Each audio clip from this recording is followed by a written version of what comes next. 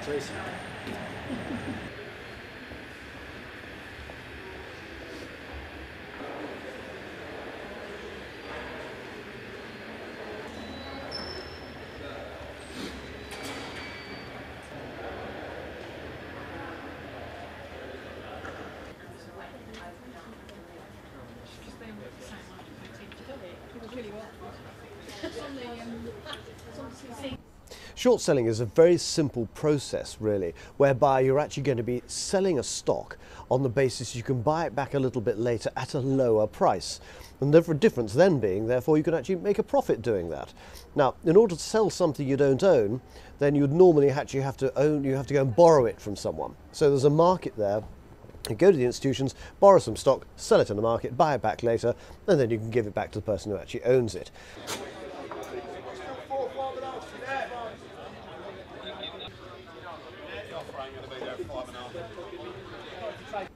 What I think is an issue is we start see people, see people banning short selling on a knee-jerk reaction without actually looking into it, when this is a perfectly acceptable practice for firms to be able to operate and invest in.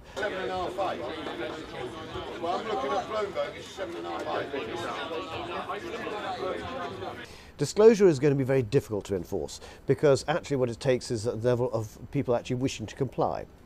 It's only going to be with the benefit of hindsight when they say, well, hang on a second, you were short selling here and you didn't disclose it, and therefore you're going to get fined. Now, how much they get fined, we have no idea at the moment. It'll depend on a case by case basis.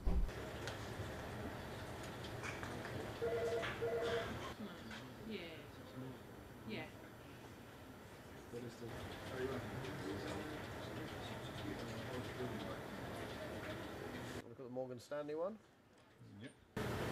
There's Morgan Stanley disclosure, short position relating to securities subject to a rights issue. Government intervention very rarely actually helps here. Um, governments are there to actually lay the overall guidelines. It's better that the industry's regulator, representing the, in- the industry, populated by the industry, operating within the law, guides it. They, after all, have a better understanding of what's going on, as eminently demonstrated by Mr. Darling's inability to understand the real processes of short selling.